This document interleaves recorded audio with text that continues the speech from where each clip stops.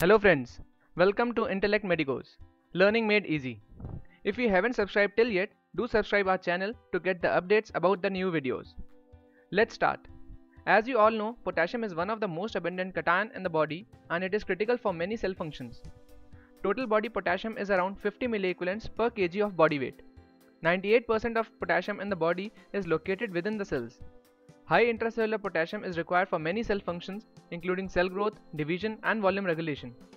Only 2% of the total body potassium is located in the extracellular fluid where its normal concentration is around 3.5 to 5.5 milliequivalents per liter.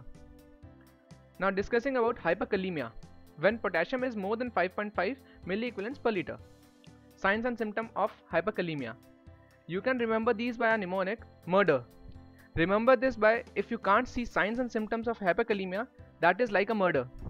So guys, whenever you make a mnemonic, do make an image or a story of that mnemonic. When you do so, you retain things and facts for longer time. Now coming on to mnemonic, M stands for muscle weakness, U for urine, can be oliguria or anuria, R for respiratory distress, D for decreased cardiac contractility, E for ECG changes, R for reflexes, can be hyperreflexia or areflexia. Let's see the ECG changes in hyperkalemia.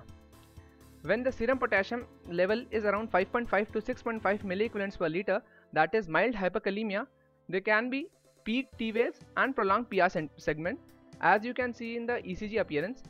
When the level is around 6.5 to 8 milliequivalents per liter or moderate hyperkalemia, there can be loss of P wave, prolonged QRS complex, ST segment elevation, ectopic beats and escape rhythms.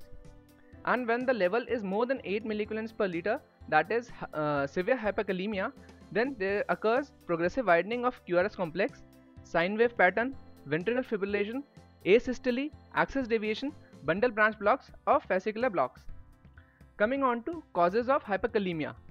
This is by a mnemonic machine. Remember as machine which calculates potassium has calculated as increased potassium where M stands for medication that can be ACE inhibitors or NSAIDs.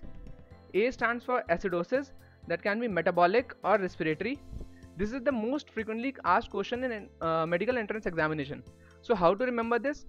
Keep this diagram in mind where potassium in alkalosis or K in alkalosis kicks up pH whereas D in acidosis slides the pH down. I hope now it will be easy to remember. C stands for cellular destruction, can be due to burns, traumatic injury. H for hypoaldosteronism or hemolysis. I for excessive intake of potassium. N for nephrons that is in renal failure. E for excretion is impaired. Now the treatment. Remember by a mnemonic C big K die. If you see a big K, the patient could die. So by C, calcium gluconate, it stabilizes cardiac membrane. B for beta 2 agonist or bicarbonate, they both shift potassium into the cells.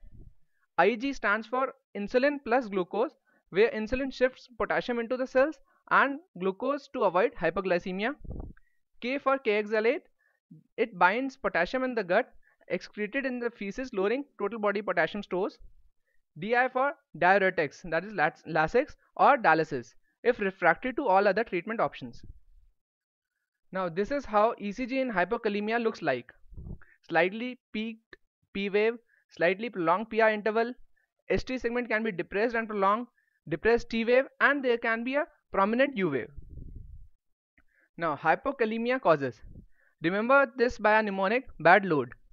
As decreased potassium is very bad and while uh, pronouncing load you uh, pronounce as a low. So th this is for hypokalemia. B for Bartter or Conn syndrome. It can be in hyperaldosteronism. A for alkalosis. D for drugs. L for laxative abuse. O for insulin overdose. A for acute glucose load. D for diarrhea. Now let's learn drugs causing hypokalemia. Friends, this is also the most frequently asked question in medical entrance examination. Remember this by a mnemonic bad fit. B for beta 2 agonist a for amphotericin B, D for digoxin, F for, for uh, furosemide or foscarnate, I for insulin, T for thiazide. Now the treatment for hypokalemia. As this name has kalemia, remember this as kala or black money. And who has the treatment for kala, kala? That is Mr. Modi. So do remember this with a mnemonic Modi. M stands for correct hypomagnesemia if present. O for oral potassium supplement. D for dietary supplements. I for IV potassium chloride.